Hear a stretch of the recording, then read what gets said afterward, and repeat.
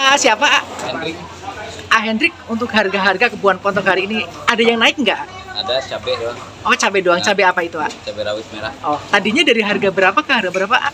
harga 40 Untuk sekarang 60 ke 60 ayah. Jadi naiknya sampai 20.000 ribu ayah.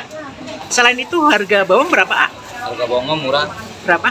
25 sekilo 25. Kalau yang lainnya nggak ada yang naik ayah? nggak ada Nggak ada. Kalau tomat berapa sekarang? tomat 12 ribu 12.000. Terus komoditas yang paling ini apa? Kalau sayur sama semuanya. Sama aja Oke, sebagai pedagang ah, harapan buat Pilpres nih, ah. Buat pemimpin sosok pemimpin seperti apa sih yang diharapkan pedagang? apa ya biasa aja lah Oh, bisa menstabilkan harga gitu ya. Harga ya. Oke, terima kasih Ah Hendrik, sukses selalu. Ya. Ah, iya. Hmm.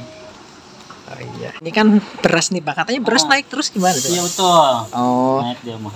gimana Pak naiknya itu Pak? Naik ya naik aja dia mah yang ada belum ada turunnya ini. Oh, sekarang harganya berapa Pak? Yang Paling murahnya tank 11. tadinya tank harganya berapa? Ternyata sembilan ribu ada tadinya kan? Tadinya 9.000. Sembilan ribu ada. Sekarang harga terendah sebelas sebelas ribu. 11.000 Pak ya. Iya. Oke, kalau harga yang terbaik, beras terbaik namanya apa Pak? Baik ya pandan wangi paling ya. Itu tadinya berapa harganya? Tadinya kalau pandan wangi dikit sih, pandan tadinya 12. Sekarang Nah, sekarang udah 15. 15.000. Yang bagus. Yang Hmm. bagus. Kalau yang biasa ada 13. Hmm. Kalau stok berasnya sendiri dari mana sih Pak biasanya Pak? Eh, dekat sih ini mah di Astu. Asut. Astu jalan tol standar. Oh, tolak standar Iya, Pak ya. iya. Dari kan ada beras pemerintah kayak bulog kayak gitu ada nggak sih? Eh, ada tapi belum dapat dapat. Oh, malah nggak dapat dapat. Malah nggak dapat ini. Emang stoknya nggak ada atau gimana Pak? Emang ngajuin kayaknya dia mah. Oh, Bapak ngajuin tapi. Ada ngajuin tapi belum dapat. Oh, udah berapa lama itu Pak nggak dapatnya?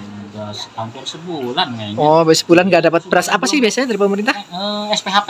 SPHP Pak ya? SPHP ya. Oh, ngajuinnya ke siapa itu Pak? Ngajuinnya ke agen, Oh, agen, agen. agen, ya agen-agen bawa eh, Oh, ya data gitulah. beri, namanya beras apa? Bantuan gitu ya? Eh, SPHP. SPHP ya, kayak bulog gitu Pak ya? Bulog. Oke.